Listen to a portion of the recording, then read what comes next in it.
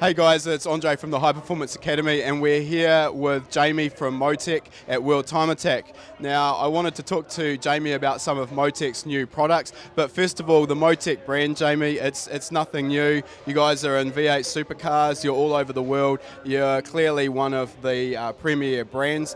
Give me a little bit about uh, where Motec's come from. What what were your old systems, and, and where have you moved to now? Uh, the Motec system originally started just as a garage in Bayswater.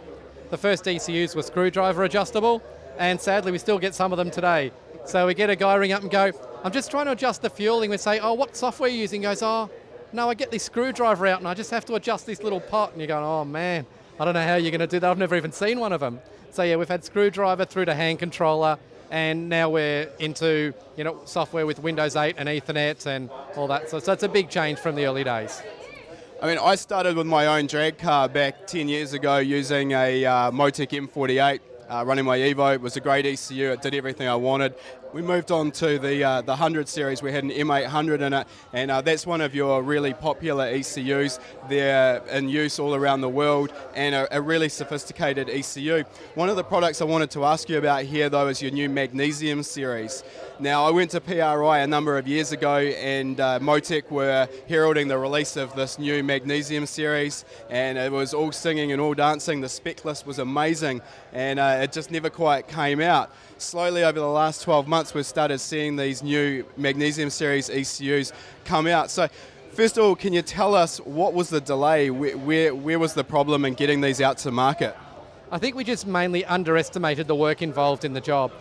It's a complete different business model. We're no longer just selling an ECU that everybody buys and does their own thing with. We're having to write specialist code for individual cars.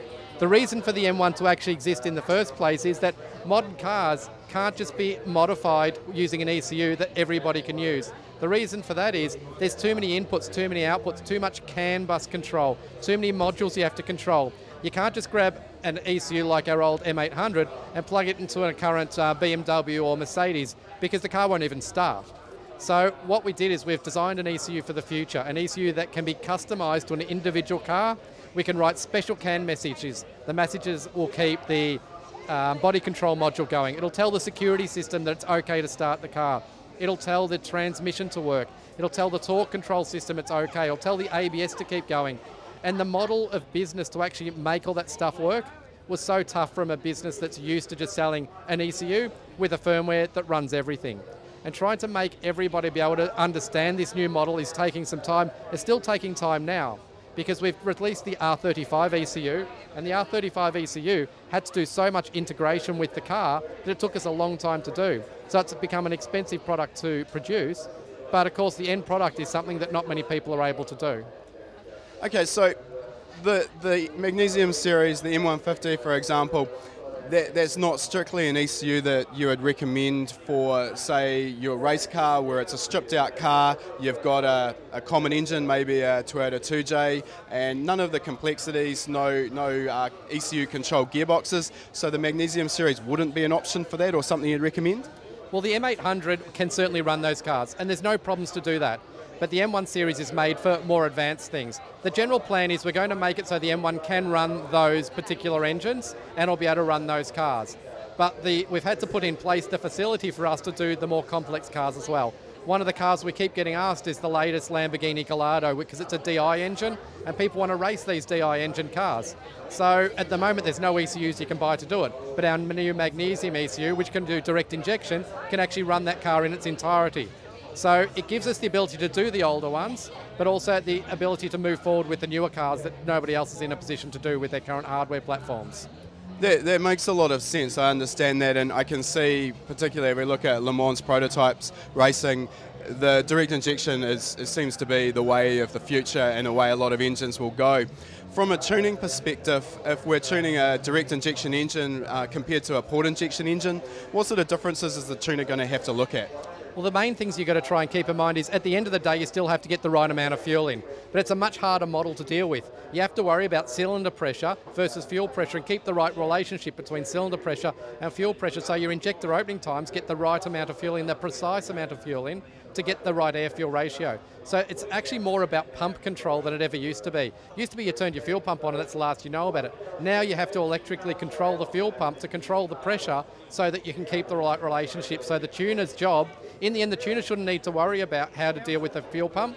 That's where the M1 comes in. We will pre-program the fuel pump so the pump has the right work for it. So it'll actually start up, it'll give the right amount of fuel pressure, and the tuner then just has to tune the fuel map like he's used to doing.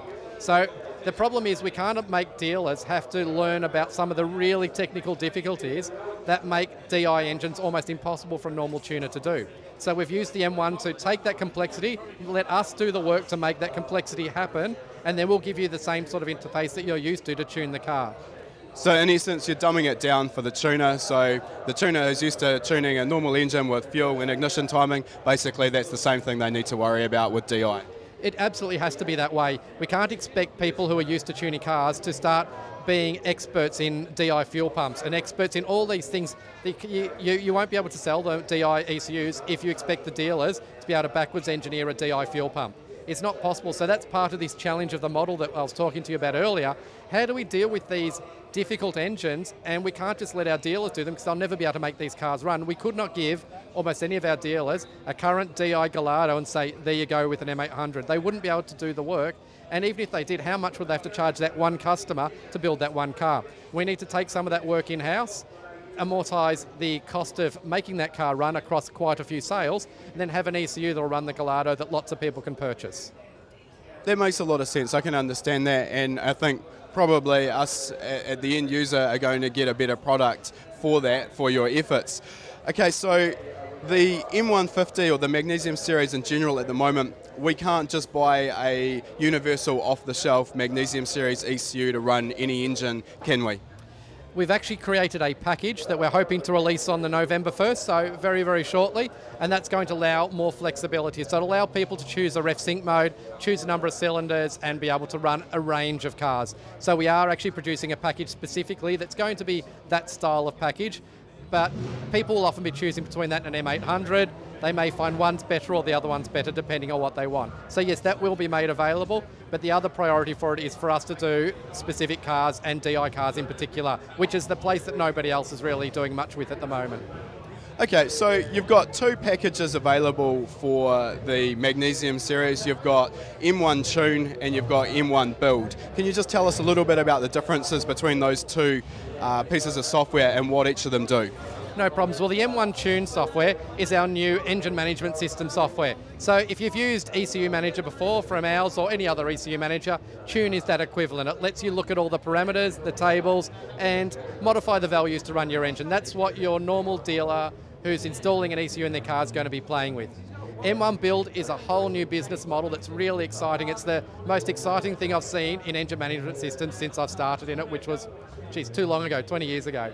So what it is, we're going to give you access to the code. So if you need to write a specific module to make your car run, we're going to let you drop back into the programming code into a modularized system that'll let you make your own firmware up.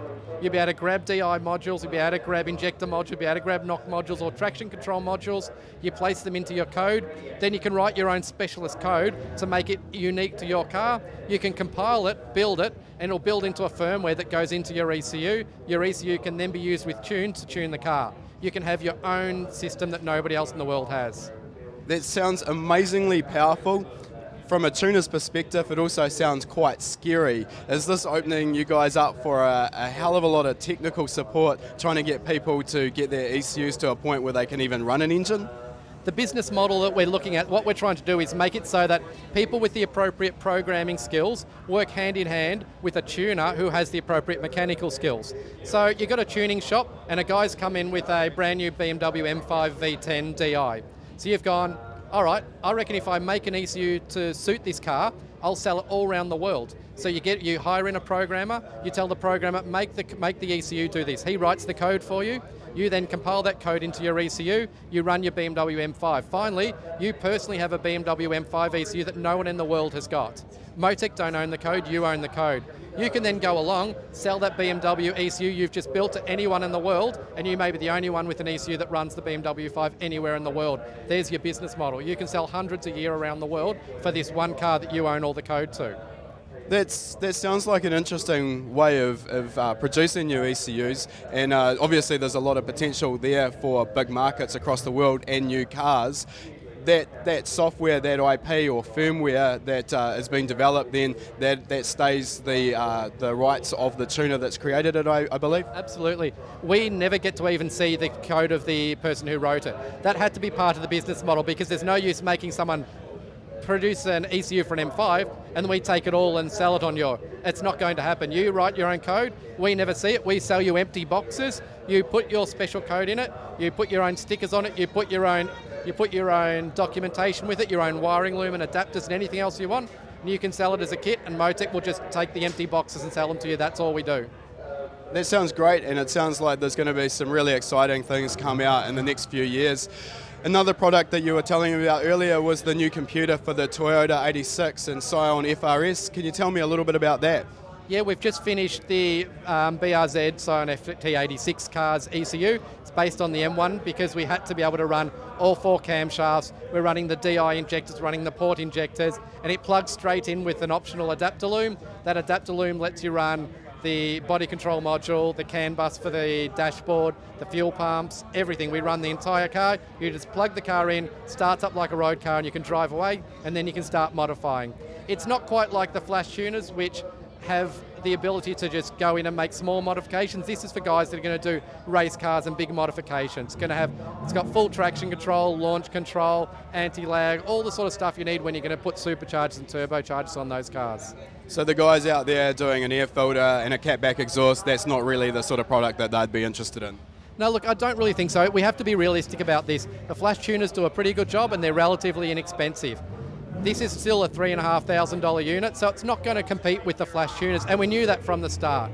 We decided we were going to do this because we think that for the people who want to modify the cars extensively, there's not enough flexibility in the flash tuners to actually do that. So we take the ECU out in its entirety and give you a wide open area to do anything you like. So our volumes are going to be lower than the flash tuners, absolutely. But for those people who want to do lots of stuff on the car, this is going to be the only option that's available at the moment for you to do that.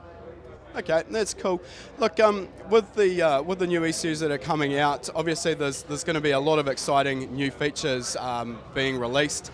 You're obviously developing a lot of uh, plug and play models for cars. You've, you've, just told us about the FT86 BRZ ECU. I know you've also recently released a uh, plug-in module for the R35 GTR. Cars are obviously getting more complex as the years go past. You guys have developed this new magnesium series with the technology to compete with that. When you're developing a plug and play in-house for a new brand, what sort of engineering challenges or, or obstacles do you have to face? The biggest thing for us is always backwards engineering the CAN bus. The car companies refuse utterly to tell us how the CAN bus works, and everybody's in the same boat. So we have to sit there with a car downstairs in the workshop and go, put a CANalyzer on and go, righto, what are the channels doing? And we sit there and move stuff on the car, work out what it's doing, and right, okay, this particular bit on the CAN bus is for this purpose. We work our way through that, and then we can make the ECU do all those functions instead of the factory ECU. That's the biggest job. Once you've done that, often it's just a car. So you just run the engine, send the stuff to the transmission, and all that sort of stuff. So it's a much easier job, but the CAN bus is the single biggest problem for everybody. Obviously got the technology there to do, it, do the job and do it very well. Um, I'm certainly really excited to get my hands on one of the Magnesium Series ECUs and uh, and start seeing how, how well it tunes up.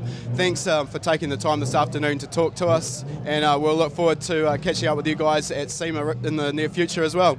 For online tuning courses, visit learntotune.com.